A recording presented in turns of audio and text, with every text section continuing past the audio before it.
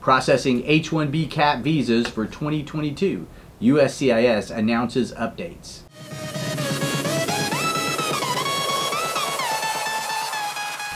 I'm your host, Jon Velie, immigration attorney and CEO of Online Visas, the intelligent immigration platform. If you'd like to learn more about what we cover in this video, go to onlinevisas.com. U.S. Citizenship and Immigration Services, USCIS, announced efforts to increase efficiency and reduce burdens to the overall legal immigration system. The agency will set new agency wide backlog reduction goals, expand premium processing to additional form types, and work to improve timely access to employment authorization documents, EADs.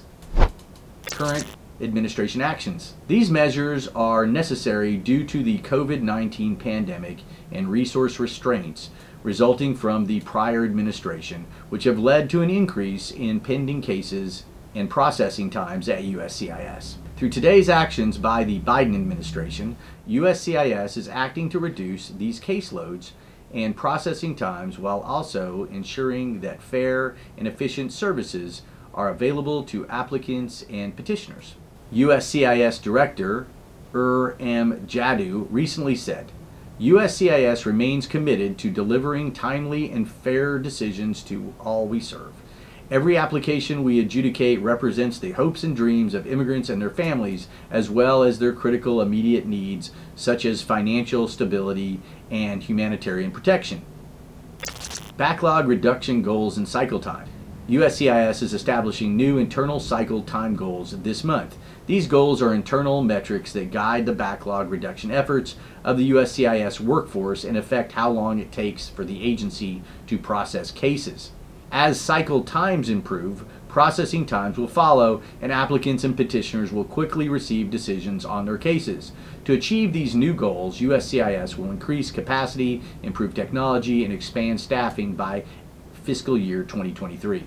The Department of Homeland Security, DHS, publicly available processing times displays the typical duration it takes the agency to process a specific form for when it is received until a decision is rendered on the case.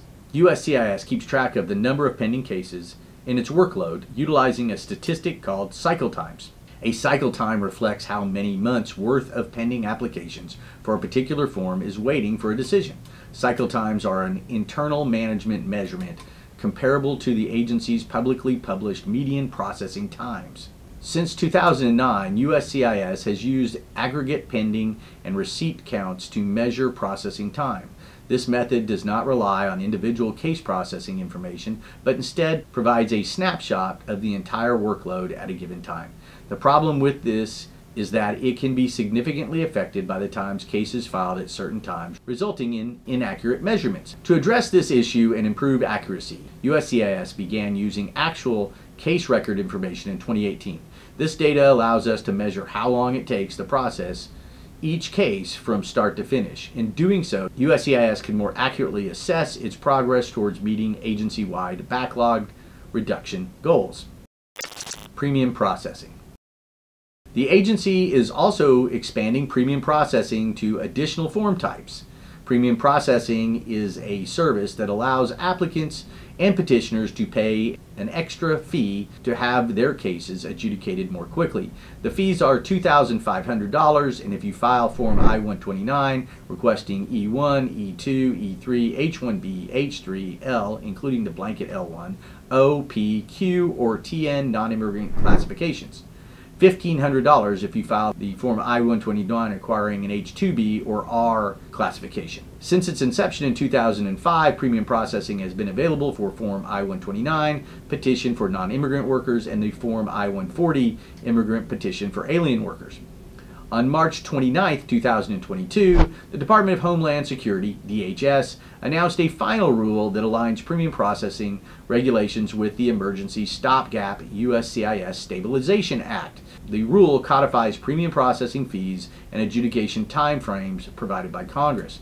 The premium processing service is now available to petitioners filing a Form I-129, petition for non-immigrant worker, immigrant petition for alien workers, and certain employment-based immigrant visa petitioners, filing a Form I-140, USCIS anticipates this change will reduce overall case processing times by allowing us to work on more cases concurrently. The final rule is also a response to the congressional direction that the agency expands premium processing availability. The expansion of premium processing must not cause an increase in processing times for regular immigration benefit requests. DHS will begin implementing through a phased approach premium processing availability for Form I-129 petitions for non-immigrant workers, Form I-140 immigrant petitions for alien workers, and the Form I-765 application for employment authorization in the fiscal year 2022. This change is part of the continued effort to improve efficiency and reduce the backlog. USCIS plans to begin this phased implementation processing by extending premium processing eligibility to Form I-140 filers requesting EB-1 immigrant classifications as multinational executives or managers or EB-2 immigrant classifications as members of professions with advanced degrees or exceptional ability seeking a national interest waiver. The expansion of premium processing will also be available to additional visa types. Employment authorization documents. EADs have been a hot topic in the United States lately. USCIS has been progressing and streamlining the process, and their latest move is a temporary final rule that will increase efficiency. This new rule, named temporary increase of the automatic extension period of employment authorization and documentation for certain renewal applicants, will extend the validity period for certain EADs. Additionally, it will provide expedited work authorization renewals for healthcare and childcare workers. This is excellent news as it will help to ensure that these individuals do not lose their work authorization status while their applications are pending. USCIS is hopeful that this new rule will help to improve efficiency within the agency. It is important to note that this rule respond to a congressional requirement. The temporary final rule aims to build on this progress and ensure specific individuals will not lose their work authorization status while their applications are pending. If you have any questions about this new rule or how it may impact you, please don't hesitate to contact us. This ends the updates announced by USCIS. If you want to discuss you or your company's situation, go to onlinevisas.com and set up a strategy session. If you want to stay up to speed on the ever changing world of immigration by subscribing to Online Visas, like, share, and follow us on Facebook and Instagram. I'm Jon Velie, CEO of Online Visas, the intelligent immigration platform where we deliver dreams.